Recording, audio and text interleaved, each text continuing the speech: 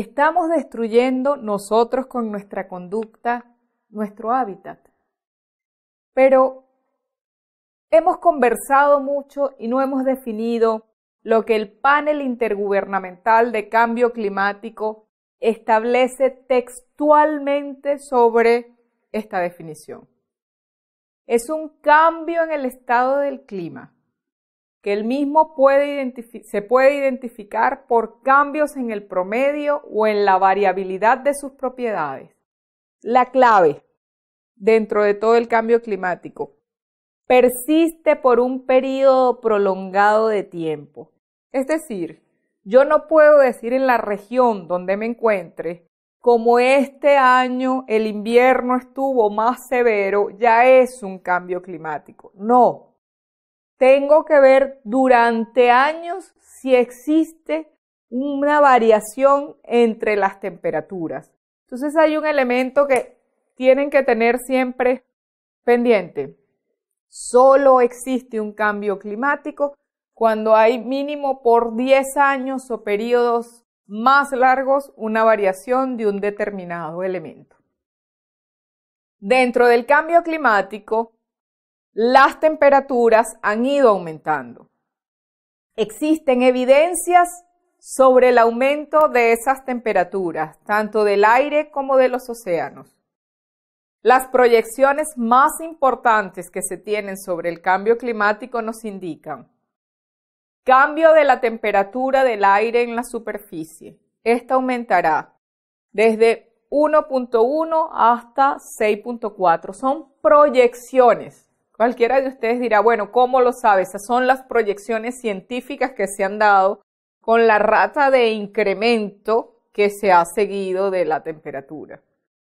El nivel del mar podría incrementarse entre 18 y 59 centímetros.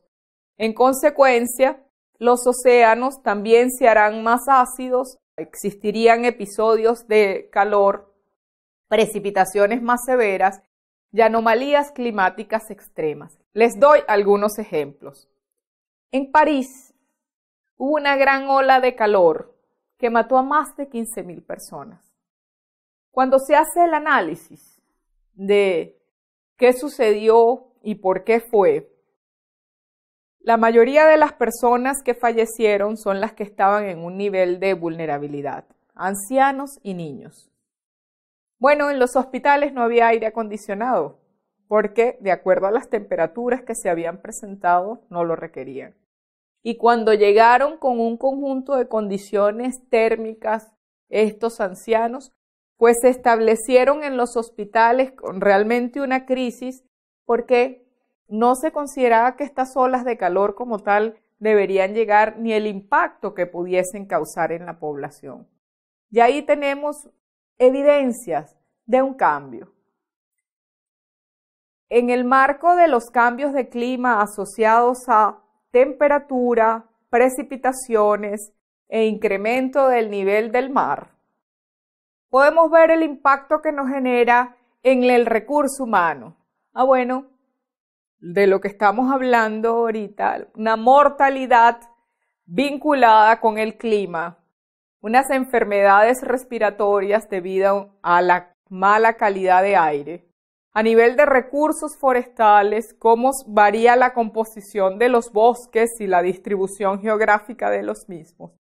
En las especies y áreas naturales, cómo puede existir una pérdida del hábitat y de determinadas especies. En las zonas costeras, todo lo que es asociado a la erosión, inundación, y el costo creciente asociado a la protección de los habitantes. En los recursos hídricos, el suministro y calidad del agua, y en la agricultura asociado al rendimiento de las cosechas y necesidades del riego. En esta gráfica quiero que meditemos un poco sobre los problemas ambientales globales que vivimos. ¿Cuáles pueden ser? Unos asociados a la calidad del agua, la desertificación, la calidad del aire en las siguientes, el manejo de desechos, de residuos y las amenazas tecnológicas que nos pueden impactar como tal a la fauna. Esto nos llevará a la reflexión de ver qué conducta estamos adquiriendo con relación a nuestro entorno. Recuerden nuestro refugio, nuestro hábitat, nuestra madre tierra. ¿Qué estamos haciendo? Hay cambios hoy en día en la cobertura vegetal. Estos cambios se ven incluso desde las imágenes de satélite dentro de las interpretaciones. Cambios importantes en la atmósfera. Cambios en la vegetación y el suelo. Cambios en la cantidad, calidad y permanencia del agua. Cuando vamos a producir energía hidroeléctrica, es fundamental considerar estos tres elementos básicos en el agua para la generación de energía. Y si estamos impactando estos elementos, pues también podemos, en el desarrollo de proyectos que nos permitan una generación hidroeléctrica, impedir que en una unidad de gestión cuenca hidrográfica se pueda desarrollar una producción de energía.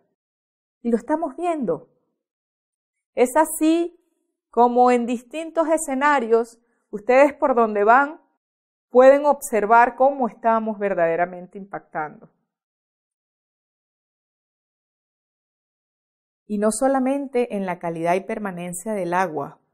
Observen con detalle animal, los animales, la fauna que tenemos en estas fotos. ¿Qué han consumido?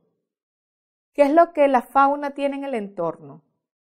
¿Qué hemos hecho los seres humanos para que estén así? Lo que quiero es que simplemente nos lleve a la reflexión individual profunda de qué estoy haciendo yo para contribuir en mejorar el hábitat, el refugio, nuestra madre tierra. Dentro de esos cambios de la calidad, cantidad, permanencia del agua, usualmente usted dice, está fuera de mí. No, está dentro de cada uno de nosotros esa responsabilidad.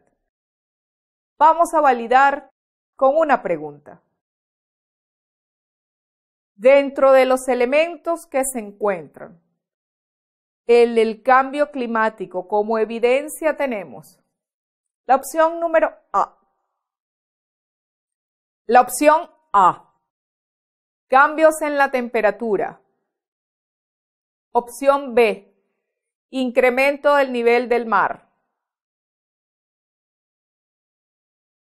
Opción C.